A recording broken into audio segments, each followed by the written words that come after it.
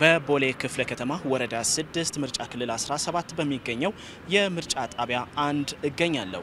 በዚህ የምርጫ ጣቢያ እጅግ በርካታ የሚባሉ ሰዎች ድምፅ ለመስጠት ወረፋ በመጠበቅ ላይ ይገኛሉ፣ በሰልፎች ማለት ነው።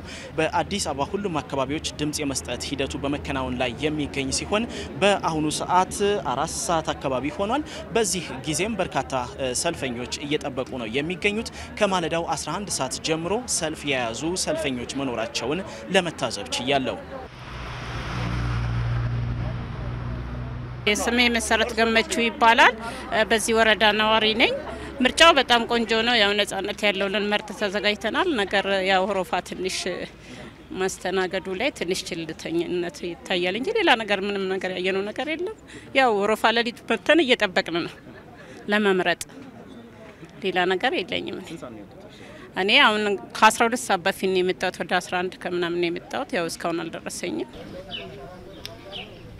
መላኩ አሰጉ እባላለሁ። በ12 ሀያ ጉዳይ ነው ምናምን ነው እዚህ የደረስ ነው።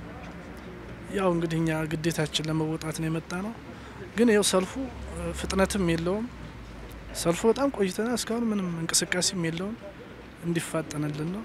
ሌላ ያው ሁሉም ግዴታውና መብቱን አውቆ መጥቶ ሊመርጥ መጥቷል ማለት ነው። የአገር ጉዳይ ነው። ለሀገራችን ስንል ግዴታ ስለሆነብን አሁንም እንጠብቃለን። እስካሁንም እየጠበቅን ነው። ግዴታ ነው። የሀገር ጉዳይ ስለሆነ ለሀገራችን ብለን ነው እና የወደፊት መሪያችን ለመምረጥ ነው የመጣ ነው።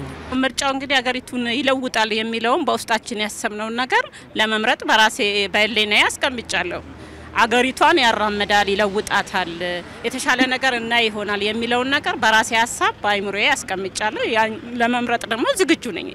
በምናየው በየቦታው በሚገደለው በሚፈናቀለው ብዙ ፈተና በሚደርስበት ጊዜ ይሄ ምርጫ ለዚህ ነገር ፋይዳ አለው ብዬ ነው አሁን ልንመርጥም ልመርጥም የመጣ ለፖለቲካ ፓርቲዎች በቃ አንዱ ናችሁ። አሁን ለምንሰጣችሁ ድምፅ በስምምነት ሀገራችሁን በደንብ ከሚደረገው መፈናቀል፣ መጋደል ምናምን ከዚህ ነገር እንዲቆምልን ነው። ለሰው ደግሞ የሚሆናችሁን ፓርቲ እንዲትመርጡ ምክንያቱም ማንንም ሳትፈሩ ማንንም ለማንም ሳትሉ ይሆናል ያላችሁትን ለሀገር ይበጃል ያላችሁትን ፓርቲ እንዲትመርጡ ነው መልእክት ማስተላለፍ።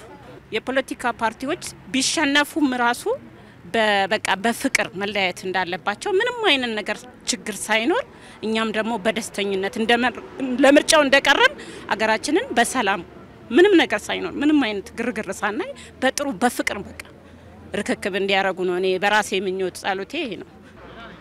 ለዘንድሮው ስድስተኛ ሀገራዊ ምርጫ 46 የፖለቲካ ፓርቲዎች በመላ ሀገሪቱ ይወዳደራሉ። ከነዚህም አስር የፖለቲካ ፓርቲዎች በአዲስ አበባ የሚወዳደሩ ይሆናል። ለዚህም የአዲስ አበባ ከተማ ነዋሪዎች ድምፅ የመስጠት ሂደት ከማለዳ ጀምሮ በማከናወን ላይ ይገኛሉ። በተለያዩ የምርጫ ጣቢያዎችም ረዣዥም ሰልፎችን በመመልከት ላይ ነው የምንገኘው። ለአሜሪካ ድምፅ ኬኔዲ አባተ አዲስ አበባ